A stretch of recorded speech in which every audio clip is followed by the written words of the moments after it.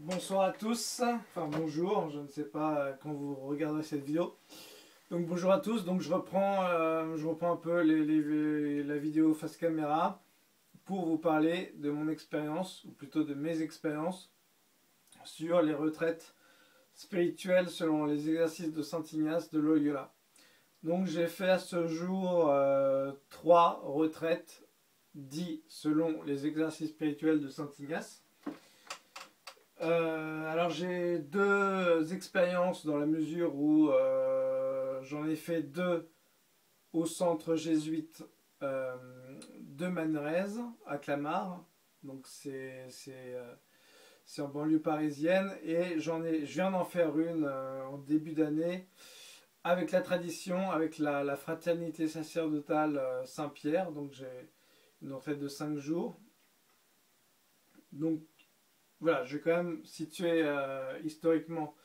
Donc, euh, j'ai fait une première retraite euh, de 5 jours d'initiation aux exercices spirituels de Saint Ignace à Manrez, donc chez les jésuites à Clamart. donc c'est une retraite d'initiation. donc on nous a appris la méthode de Saint Ignace pour méditer les textes. Alors euh, c'est une retraite un peu spéciale parce que euh, on avait des, on devait méditer 45 euh, minutes sur, sur, des, sur des courts passages de la Bible, donc c'est entre 15 et, 20 versets. On devait méditer 45 minutes selon la méthode de Saint Ignace, donc la méthode est respectée.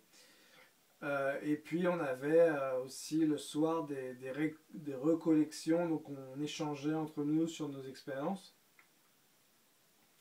Alors cette retraite a été très profitable parce que ça m'a permis de mieux goûter la parole de Dieu, de rentrer dans les entrailles du texte, donc de faire en sorte que ça me parle, que ça me parle un peu plus que quand je lis la Bible. En fait, euh, quand je lis la Bible, euh, la parole travaille mieux en moi, remonte mieux, que, que je puisse savourer un peu mieux le texte, donc euh, la parole de Dieu. Euh, donc ça c'était en 2013, l'été 2013, soit un an après ma conversion. Donc c'était quand même assez profitable.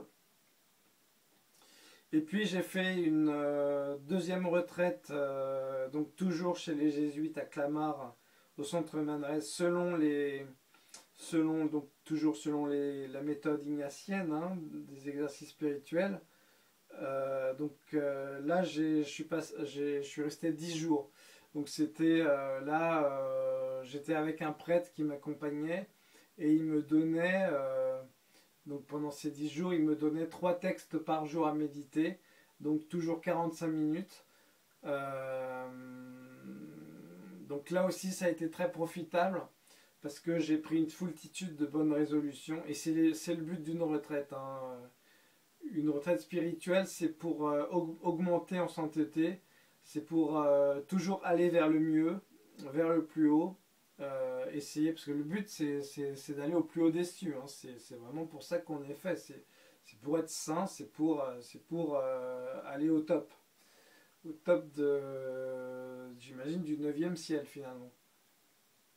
Donc, euh, donc pendant cette retraite de 10 jours, donc à méditer euh, pendant 45 minutes, euh, trois, textes, trois, trois courts textes issus, issus de la Bible, m'a été très profitable. J'ai pris une foultitude de bonnes résolutions. Alors après, il faut les tenir, hein, mais bon, le fait est que je les ai tenues à peu près.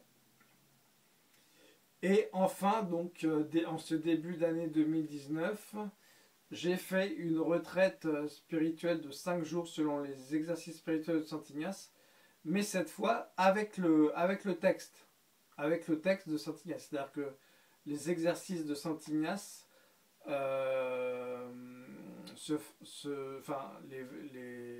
une retraite traditionnelle se fait avec le texte de Saint Ignace, c'est-à-dire avec le livre. Euh, on médite sur ce qui est proposé par le, livre de Saint Ignace, sachant que bon, c'est sur 5 jours, donc c'est très condensé parce que euh, Saint Ignace avait prévu euh, ses méditations sur tout un mois. C'est-à-dire que durant le mois, en gros, on, médite sur le sens de la vie, sur les fins dernières. Donc les fins dernières, que tout, enfin, les fins dernières, c'est euh, la mort. Juste après la mort, c'est le jugement par Jésus-Christ.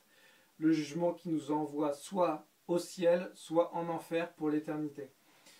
Et aussi, on médite toute la vie du Christ. Euh, donc c'est sur 30 jours. Mais en 5 jours, on médite pas forcément toute la vie du Christ. On n'a pas le temps on médite sur le sens de la vie, sur nos fins dernières et euh, sur quelques passages très ciblés de, la vie du Christ, les passages euh, fondateurs comme l'Annonciation, l'incarnation, euh, la mort, la passion du Christ et la résurrection et la Pentecôte. Voilà. alors j'ai envie de dire donc là aussi, j'ai pris des résolutions. Je pense que je vais les tenir. Euh, de bonnes résolutions qu'on n'a pas le temps de,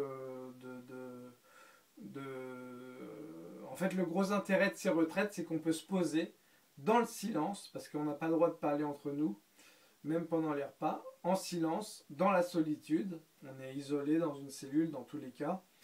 Et ça, nous, ça permet à l'Esprit Saint de travailler en nous c'est-à-dire, ça permet à l'Esprit Saint de, de...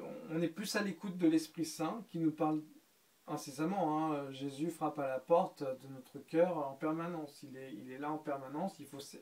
Le but, c'est de saisir l'instant présent pour essayer de, de, voir ce que, le, ce que l'Esprit, ce que Dieu a à nous dire.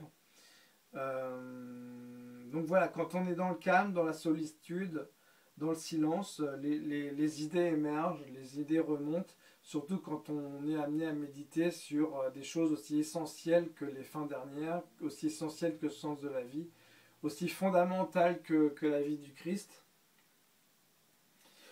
Euh, voilà, une, retraite, enfin, méditer la Bible dans le silence, en solitude pendant au moins 3, 5, 10 jours.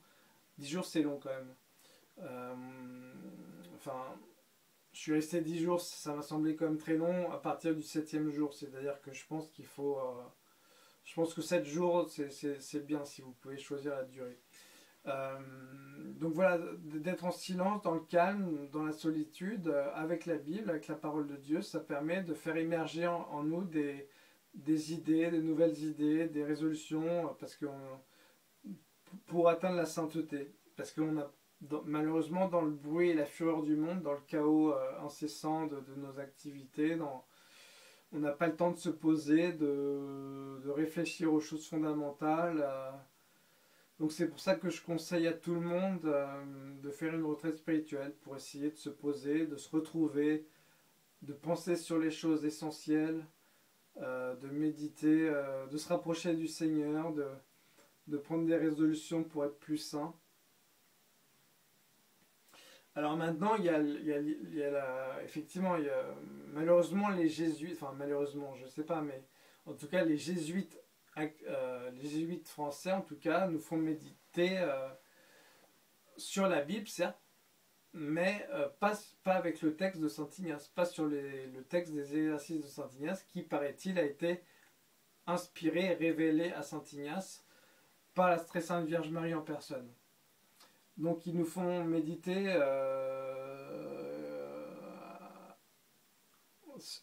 sur, la Bible 45 minutes. Euh, alors que chez les traditionalistes, donc là c'était avec la fraternité euh, sacerdotale Saint-Pierre, eux ils nous font méditer avec le livre de Saint Ignace sur les livres très précisément de Saint Ignace sur les exercices spirituels. Donc moi je vous conseille enfin, moi je conseille à tous les bons catholiques, à tous les catholiques, de faire au moins une retraite selon les exercices spirituels de Saint Ignace, d'après le livre. Donc, euh, autrement dit, euh, chez, la les traditionnalistes, parce que malheureusement, les jésuites, eux, nous font, enfin malheureusement, les jésuites, eux, nous font méditer sur, euh, sur la Bible avec la méthode de Saint Ignace, mais pas sur le livre. alors, je conseille à tout le monde de faire une retraite de Saint Ignace de 5 jours, donc avec les traditionalistes, sur le vrai texte de Saint Ignace. Sachant que eux nous recommandent de le faire tous les ans, parce que effectivement ça nous permet de nous, recentrer sur nous-mêmes, et je pense que tous les ans c'est effectivement un, bon rythme. Euh, et, je, conseille de commencer par là, de faire une retraite euh, de la tradition sur, les, sur le texte même de Saint Ignace.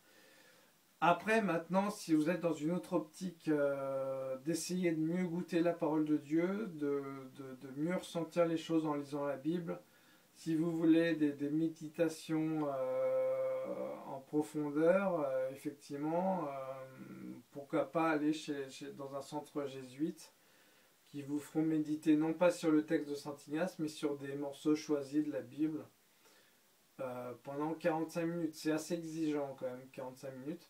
Sachant que euh, chez les traditionalistes, euh, donc sur le texte de Saint Ignace, sur 5 jours, euh, par contre, on ne médite, on a le temps de ne méditer que 25 minutes. Alors ça peut être suffisant. Moi, comme j'étais habitué à méditer 45 minutes, j'étais un peu sur ma faim, mais voilà. Donc en fait, chaque, chaque méthode a ses avantages et a ses inconvénients. Tout dépend de ce que vous, vous recherchez. Moi, je conseille quand même à tous les catholiques euh, de faire une retraite de Saint Ignace euh, d'après les vrais exercices, donc d'après le livre. Donc, je pense que c'est les, les, traditionalistes qui, le proposent. Hein. Je, peux vous je peux vous recommander la Fraternité sacerdotale Saint-Pierre ou, euh, ou l'Institut du Bon Pasteur. Il doit y en exister d'autres. Et effectivement, il y a aussi les jésuites alors moi je connais le centre de Clamart. Là c'est dans une autre optique, c'est si vous, si vous voulez mieux, rentrer dans le texte biblique. Euh, mais dans les deux cas, dans les deux cas, euh, normalement vous devriez avoir pris de bonnes résolutions. Euh, après, vous êtes recentré sur vous-même, dans le silence, dans le calme, dans la solitude, sur la parole de Dieu. Normalement, devrait émerger de très bonnes résolutions pour la sainteté et donc pour le salut de votre âme, pour le salut euh, des âmes de vos prochains, de vos proches et aussi pour la gloire de Dieu. Amen.